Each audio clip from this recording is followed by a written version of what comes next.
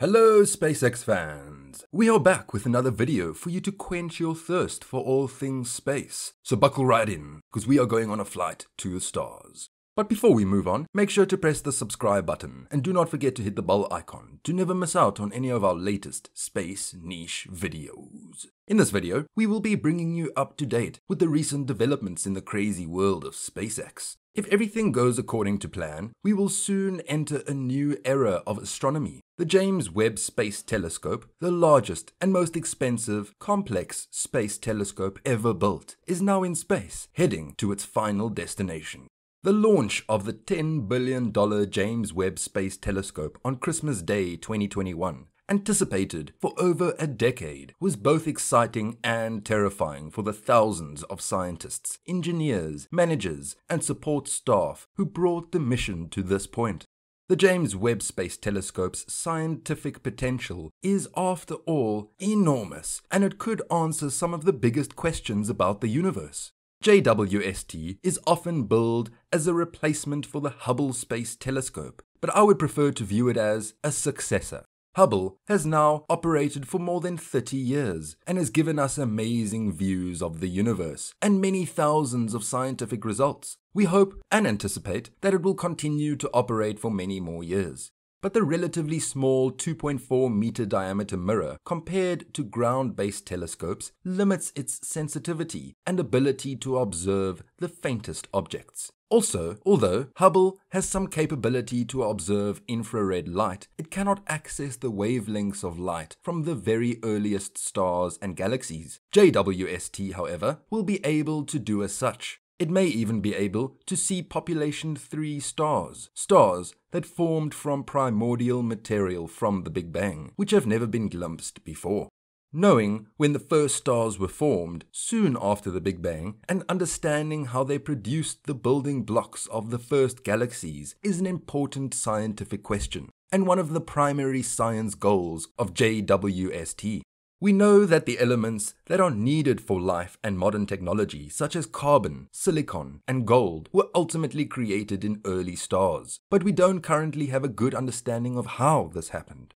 The need to detect faint objects in the distant universe has been an important driver for the design of the observatory, determining its size, wavelength coverage, and need to keep it very cool to minimize undesirable background light. Studying the first stars and galaxies is not the only important scientific program JWST will perform. It is conceived as a general purpose observatory on which astronomers from around the world can apply for time to support their research. For example, observing in the infrared will allow JWST to see through the clouds of dust that enshroud very young stars, which are opaque to visible light. One of the big purposes of the telescopes is actually as time machines, because the distance is to look back in time, says Daniel Eisenstein, an astrophysicist at the Harvard Smithsonian Center for Astrophysics. Eisenstein will use Webb's cameras to travel back in time to when the earliest galaxies were formed, right after the Big Bang. When you look at a distant galaxy light years away, we aren't seeing it in its most recent state. Its distance in light years translates to the number of years it takes for light to arrive on Earth. For example, the closest galaxy to ours is the Canis Major dwarf galaxy, which is 25,000 light years away. So its light takes 25,000 years to reach Earth. This means when we look at the Canis Major dwarf, we're seeing it as it was 25,000 years ago. The further into space scientists can look, the further back in time they can observe a galaxy. Webb, being the farthest seeing telescope yet, can root out the youngest looking galaxies humanity can observe. To understand the formation of galaxies, scientists like Eisenstein will look at several galaxies at different life stages and piece together their developmental timelines. Webb's infrared capabilities are also crucial for observing these galaxies. Light from distant galaxies will be stretched out by the expanding universe. By the time the light reaches our telescopes, its original wavelength will have shifted from the visible or ultraviolet to the infrared. Luckily, picking up infrared signals is right up Webb's alley. It's the first time we've had a large, cold telescope in space that can observe these infrared wavelengths, says Eisenstein. The Hubble Space Telescope has managed to capture the shortest wavelength infrared rays stretched from the bluest of light of faraway galaxies. The retired Spitzer infrared telescope was much smaller than Webb and couldn't see as far into space. Webb will knock it out of the park in terms of how deep into space and how far back in time it can catch distant galaxies in the acts of growing up. Unlike Hubble, it will be able to see right into stellar nurseries where the stars and their planetary systems are being born. The observations will answer questions about how the clouds of dust and gas collapsed to form stars and how planetary systems form around them. When the first plans for JWST were being discussed more than 20 years ago, no planets were known other than those in our own solar system. Since then, astronomers have discovered thousands of planets orbiting other stars in our galaxies, exoplanets. A significant fraction of the JWST observing program will be devoted to the study of their atmospheres.